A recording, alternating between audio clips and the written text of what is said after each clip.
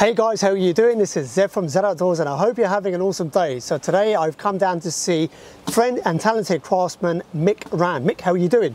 I'm good, Zed. Thanks very much for coming along It's an today. absolute pleasure to be here. So this video is a third video in a three-part series I am filming with Mick. In the first video, what we looked at was a selection of kuksas and bowls uh, that Mick has carved by hand. In the second video, we looked at a kuksa vise and tools that he uses to carve the kuksas and bowls with. In his third video, what we're looking at is Mick's personal process for using a branding iron to mark a maker's mark on woodenware that he's carved. Now this is not so much a tutorial, this is more of an insight into how Mick approaches this process. The other videos that we recorded in this series, I'll put links down to below. We're filming here at his allotment here in London. I do apologize, apologize in advance if you do hear wind on the mic. It's a very, very blustery day today. but that being said, what we're going to do in this video is something I'm looking forward to seeing because I've not seen it in its entirety, is Mick's process for the Maker's Mark. What I'm also going to do is put links below to Mick's Instagram where you can connect with him and also ask him any questions and I will put a link below to his website. So without further ado, I hope you enjoy the rest of this video where Mick Rand is going to be showing you how to use a branding iron to put a Maker's Mark on woodenware. Well, what we've got here Zed is the um, a branding iron, which I had made up years ago. Long before I used to make bowls and kuksas, I used to do things like stick furniture and repair of garden tools. I like to put my own brand on them, and this is it. Uh, I did a piece of artwork uh, as a Word document and sent it off to a guy in Sheffield. Uh, I can't remember his details now, it was yonks ago. And he, he made this up using some amazing piece of machinery. Um, what it is is HWP, which is my brand. Slightly pretentious name, Highgate Wood Products. Um, when I first got it, it had a long, long handle on like a poker. Um, so I've chopped that off and put this wooden one on. Gradually, of course, it gets more and more scorched. The idea being you can hold the brand in one hand without risky burning yourself and the workpiece in the other. And what we'll do next is heat this thing up and then I'll show you the branding process last.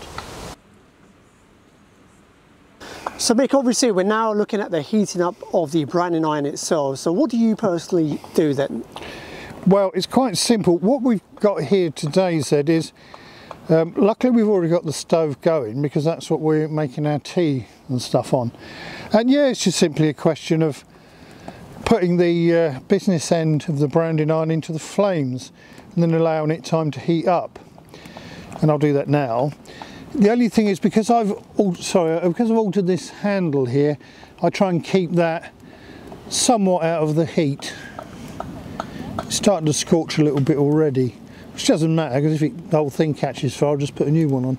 So you just put it in there and you'll poke the business end, as I say, into your flames, into your embers, and then yeah, give it five or ten minutes to heat up.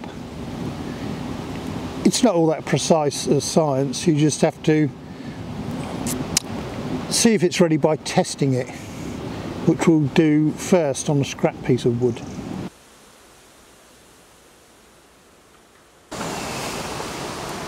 So Mick, with the branding iron pretty much ready, what are we going to do next? Well, what I'll do is, I want the brand to look as close to that as possible. That's quite a good one. So, I'll get the, the iron out of the fire, to coin a phrase, and I'll test it on this scrap piece here. Partly do that to, to cool it down a wee bit.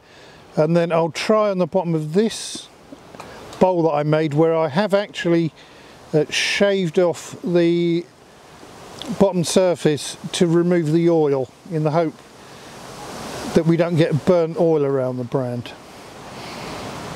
which can makes it look kind of cloudy so I hope this thing is warmed up enough So that's been in there for about five, ten minutes. five or ten minutes yeah it doesn't take much um, And first I'll do the test piece. The main thing is make sure you got it upright, the, the right way up.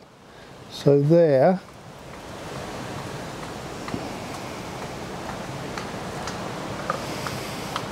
I think we might just about get away with it. And then on here. Now it's not quite as hot as it might have been so I can hold it on there for longer. And there we have it with a corner missing, which I don't mind. The basic HWP brand, which is the maker's mark that I use um, on the stuff that I make. So when you're placing that onto the, the piece of wood, so you're, you're gently rocking it in, is that what you're doing? Yes, yeah, that, that's uh, how you do it. And I'm just going to see if I can get a touch on that corner there. Yep, that's done it. Uh, I know it looks like a sort of double transfer, but I've just burnt that tiny bit in on that corner and then what I'll do in this area where there is still traces of burnt oil I'll just shave off the minutest shaving off that to make a more distinct edge between the burnt wood and the unburnt wood. So would I be right in saying once this is cooled down and dried up you would then potentially clean it up with a knife?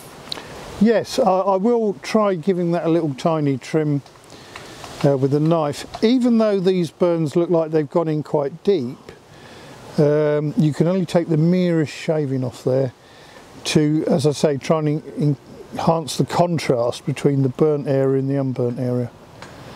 Um, I'll have a quick look at that, but I'm actually quite happy with that. I don't mind if the brand looks rough. As long as people can see HWP, which is Highgate Wood Products, uh, as I say, my slightly pretentious name for my stuff, um, that's good enough. That will do. So there you have it my friends, that is a wrap for this video. Mick, thank you so much. Thank you indeed, Zed. It's been great filming with you today. So as mentioned at the beginning of this video, this is more of just an insight. So it's not necessarily a tutorial. It's something I've not covered before on my channel, let alone actually see the entire process from start to finish.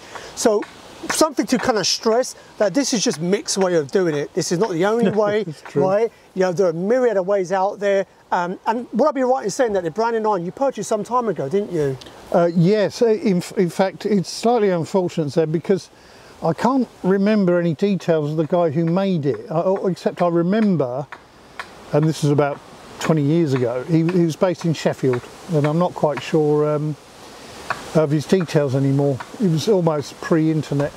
And there's a lot of makers I've seen, especially on Etsy, that can make a maker's mark like this. So it's you know, important that you look around depending on the location that you're in um, and even ask other makers to, to, see where they got them from. But Etsy is a great place to start in terms of making a custom branding iron uh, for your maker's mark or whatever it is that you want to mark your woodenware with. Um, so Mick, like I said, I do thank you for allowing me to document this um, your process so that others can see how you approach this topic. So a final reminder, We've done two previous videos in this three-part series that I'm filming today with Mick. The first video was having a look at his selection of hand-carved kuksas and bowls. The second video was having a look at his kuksa vice and tools that he use, uses to carve the kuksas and bowls too. And obviously in the third video we looked at the actual branding iron uh, that he, he, does his maker's mark with on his woodenware. Links to all of those videos down below in the description. Also a link to Mick's Instagram. It's a great way of seeing the myriad of things that he gets up to, as well as if you want to message him, that's a perfect place to do it. And also finally a link to his website where he sells his wares and obviously you can have a look at that. If you gain any value from this video whatsoever, it will mean the world to me. You head over to his Instagram and give him a follow. So Mick, a sincere thank you once again for allowing me into your space for the day to document um, these yep. videos. Uh, guys, as always, I really hope you enjoyed this video. And as always, I hope whatever you're doing, you have a blessed day, a blessed week ahead. But myself, Zed Outdoors and Mick Rand, peace out.